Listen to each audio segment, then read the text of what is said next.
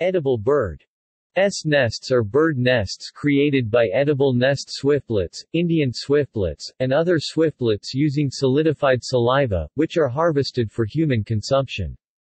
They are particularly prized in Chinese culture due to their rarity, supposedly high nutritional value, and flavor. Edible bird S nests are among the most expensive animal products consumed by humans, with nests being sold at prices up to about $3,000 per pound, depending on grading. The type or grading of a bird's nest depends on the type of bird as well as the shape and color of the bird's nest. It is usually white in color, but there also exists a red version, sometimes called blood nest. The Chinese believe that it promotes good health, especially for the skin. The nests have been used in Chinese cooking for over 400 years, most often as bird's nest soup.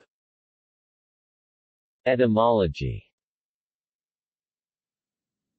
The Chinese name for edible bird, S nest, Yanwo Yanwo, translates literally as swallow. S or swift.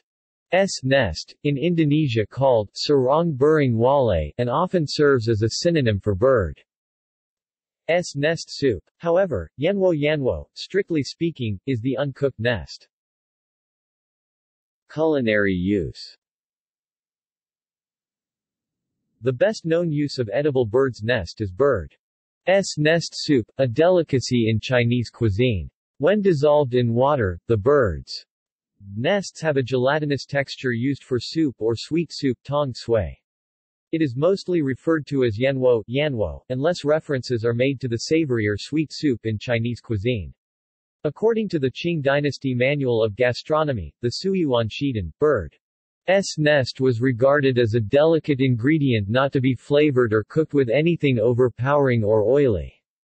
And while it is precious, it must also be served in relatively large quantities otherwise its texture cannot be fully experienced and enjoyed. In addition to their use in soup, edible bird S nests can be used as an ingredient in other dishes. They can be cooked with rice to produce bird S nest congee or bird S nest boiled rice, or they can be added to egg tarts and other desserts.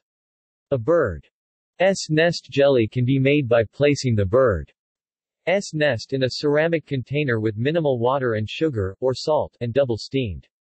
Ready-to-eat bird's nest jelly is available in jars as a commercial product. Production and harvest The most heavily harvested nests are from the edible nest swiftlet or white nest swiftlet and the black nest swiftlet Aerodramus maximus.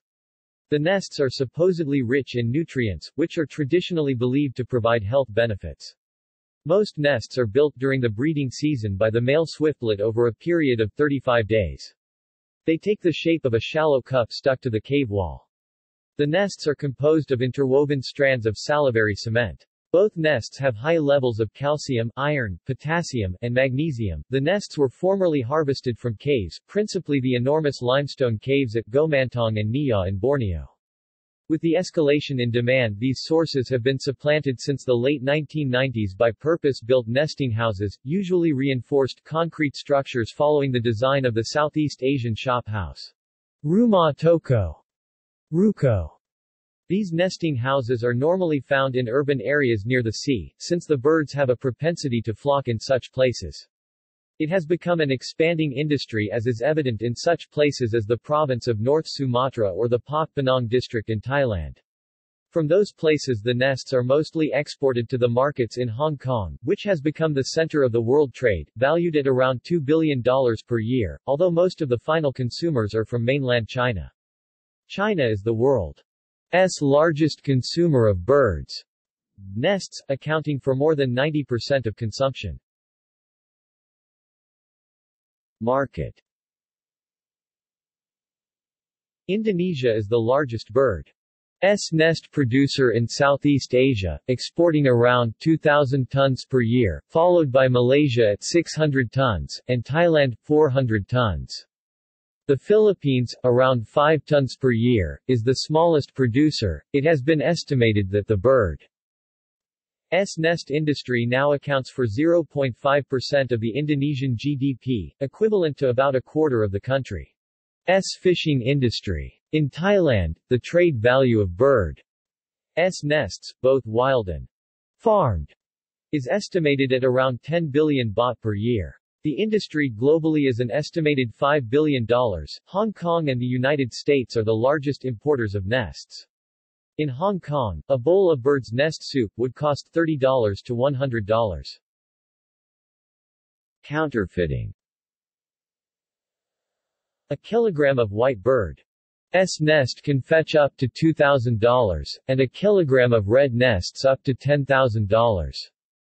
The white nests can be treated with red pigment to defraud buyers, but methods have been developed to determine an adulterated nest.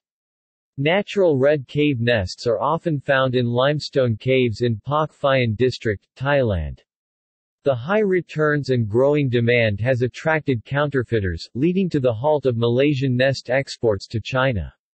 The Malaysian government has since employed RFID technology to thwart counterfeiting by microchipping nests with details about harvesting, packaging, and transport.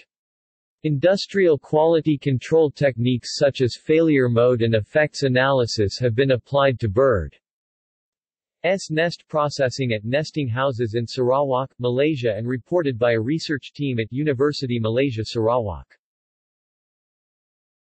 Import restrictions because a bird's nest is an animal product, it is subject to strict import restrictions in some countries, particularly with regard to H5N1 avian flu. Import of nests into Australia is strictly prohibited unless imported with an official customs and quarantine import permit from the Australian Department of Agriculture. In Canada, commercially prepared, canned, and sterile bird's nest preparations are generally acceptable, but may be subject to restrictions. See also Traditional Chinese medicine List of Chinese soups List of delicacies List of soups References Bibliography Jordan, David 2004. Globalization and Bird's Nest Soup. International Development Planning Review. Liverpool University Press. 26 1. Archived from the original on 21 October 2008. Lau, Amy S. M., Melville, David S. April 1994. International Trade in Swiftlet Nests with special reference to Hong Kong. Traffic Network. ISBN 1-85850-030-3. Jong, Chian Haur, Tay, Kai Meng, Lim, Chee Peng, August 2013. Application of the fuzzy failure mode and effect analysis methodology to edible bird nest processing. Computers and Electronics in Agriculture, 96 to 90-108. doi 10.1016 j.compag.2013.04.015 Kai Meng, Jong, Chian Haur, Lim, Chee Peng, April 2015. A clustering-based failure mode and effect analysis model and its application to the edible bird nest industry. Neural Computing and Applications, 26 to 551-560. doi 10.1007 per seconds 00521 014 1647 4. Chong, W. U. I. Lee, Tay, Kai Meng, Lim, Chee Peng, November 2015. Clustering and Visualization of Failure Modes Using an Evolving Tree. Expert Systems with Applications, 42 to 7235-7244. doi 10.1016 j.eswa.2015.04.036 Chai, Kok Chin, Jong, Chian Haur, Tay, Kai Meng, Lim, Chee Peng, August 2016. A perceptual computing-based method to prioritize failure modes in failure mode and effect analysis and its application to edible bird nest farming.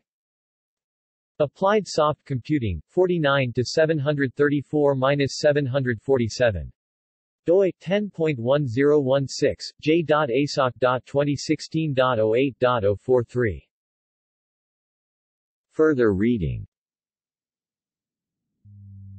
Jandam, Kasam, April 2017. Ethnicity and Bird's Nest Resources in Southeast Asia. Thailand Research Fund, TRF. ISBN 978-616-7474-53-3. Retrieved 12 October 2018. External links. Media related to edible bird's nest at Wikimedia Commons